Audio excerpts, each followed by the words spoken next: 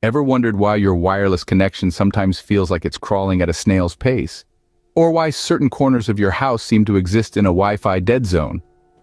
Well, these are common challenges in wireless communication, and they are about to face a formidable adversary, Intelligent Reflecting Surfaces, or IRS.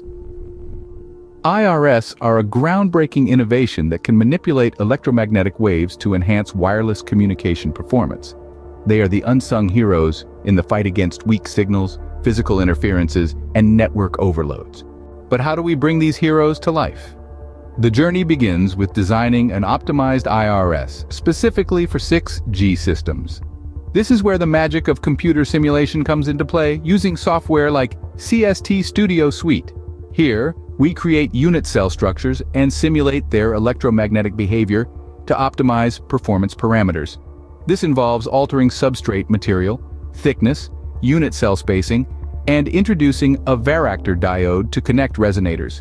Once we've found the optimum structure at the 2.4 GHz frequency, we move from the digital realm to the physical world. The unit cell array is connected in a column-wise fashion, creating a structure of 54 cells array using KiCad software. After etching and mounting the varactor diodes, the IRS is ready for testing.